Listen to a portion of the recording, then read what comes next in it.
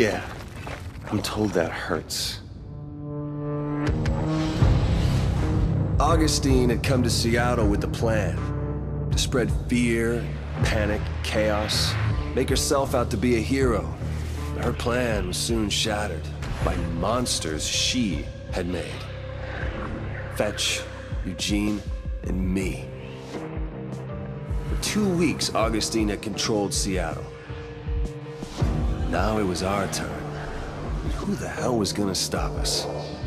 Oh, and the hundreds of conduits Augustine had locked away at Curdun Cay Station?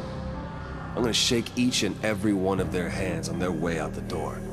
So many different powers, all in one place. I'll be the kid in the candy store. But first, I had a promise to take care of.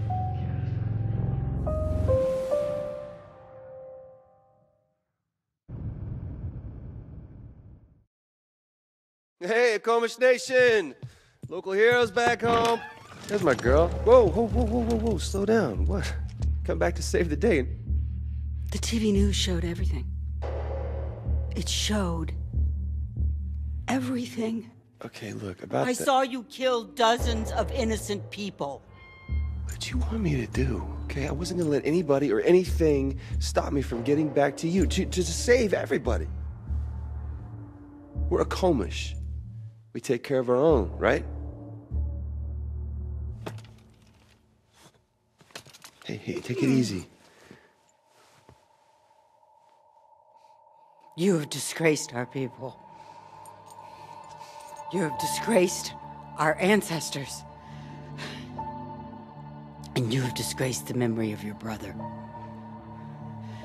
You are Akomish no longer.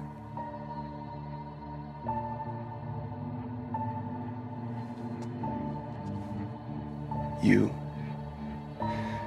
everybody else, will die without me. Or have you forgotten that? We haven't forgotten. And we will never forget. But